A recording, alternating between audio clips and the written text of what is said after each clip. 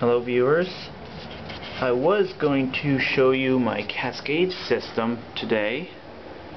I had started making a video for it, but it turns out the condenser fan is drawing way more power than it should be. This double shafted motor was out of a air exchanger.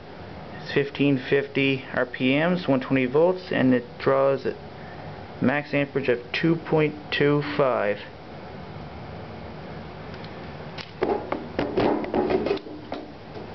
Um,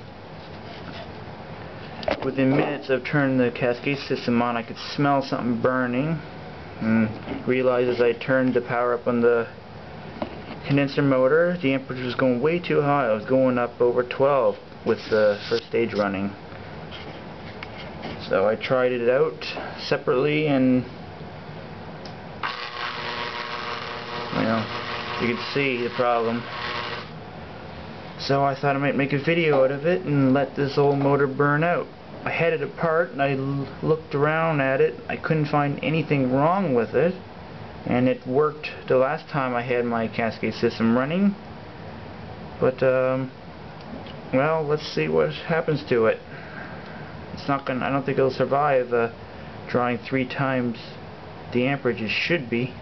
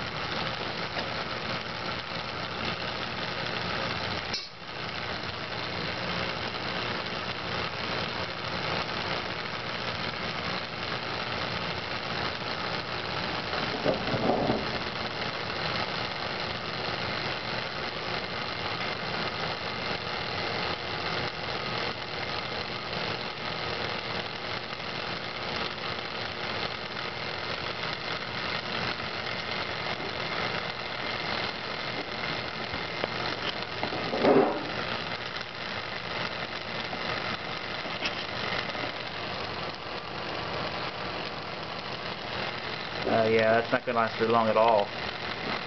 And here it's already crackling and bubbling inside the there.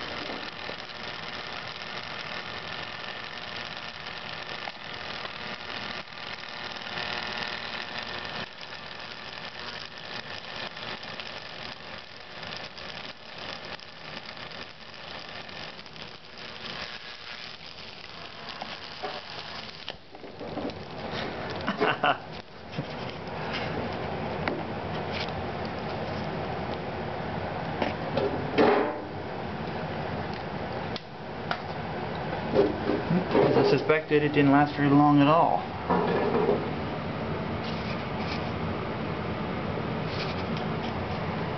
That was a cool little fire.